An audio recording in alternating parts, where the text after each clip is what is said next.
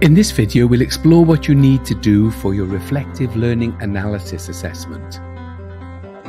Presumably, you're all familiar with various models of reflection. Some of them talk about reflecting in practice, and some then later reflecting on practice. The model you have to use here is this eight step model. Okay, so even if you are familiar with other models, that's fine, and maybe you'll draw in some uh, references from those, but you must complete all eight steps of this one. I can't emphasize that enough. You've only got 1500 words, give or take 10%, uh, for this assignment. So even if you split each section equally, that would be just under 200 words per section. But what I would encourage you to do is try to use less words um, that are descriptive and focus more on the sections that require uh, greater critical analysis. For example, this first section asked you to describe what it is you want to reflect on. Now, it may be a practice visit that you've made, or it could be a critical incident, something that's happened that's stuck in your mind, and you want the opportunity to think and reflect about um, more in depth.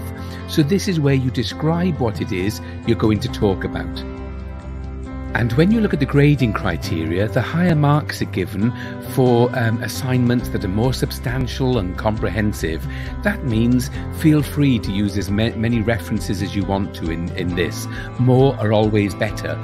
So it could be a case that you're describing something, and it may be you're describing um, a practice visit that you've been on, and that that visit is helping to achieve a national strategy around sexual health. We'll put in that as a reference. Step two is for you to take a look inside to reflect on how you're feeling about the particular incident or the visit that you've got under study here. So, how did you actually feel? And don't just describe it in one or two words, but try to explore those feelings, reflect on them. Maybe ask yourself some critical questions about where did those feelings come from? Why have you felt like this? What's the impact of how you feel? Step 3 takes into consideration any other relevant facts, any wider material that you want to talk about here in relation to the practice visit or the critical incident that you're exploring.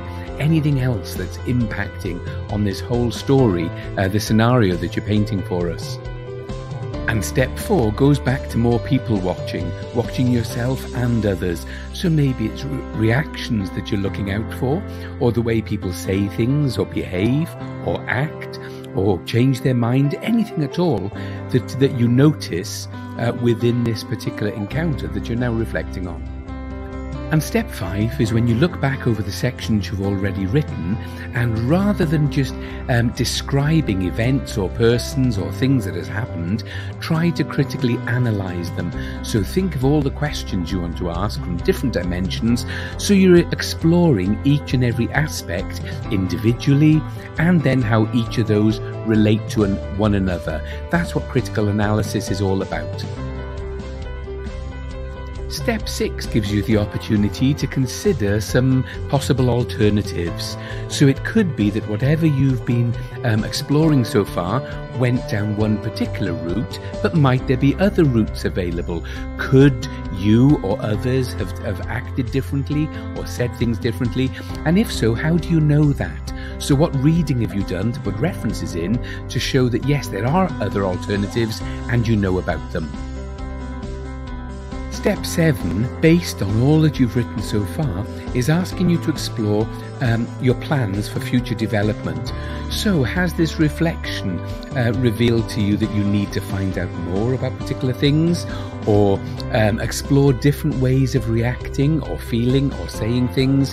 What's this reflection shown you up to this point, and therefore, what plans can you make for developing out of this further? And finally, step 8 this sets your reflection within the wider course that you've now been studying as sexual health skills. So, from doing this module, has that given you any insights into this particular reflection? Or um, maybe there are uh, issues around the reflection that could have been developed more in the course. So, think about that by way of marrying up these two and giving feedback on how the two interrelate.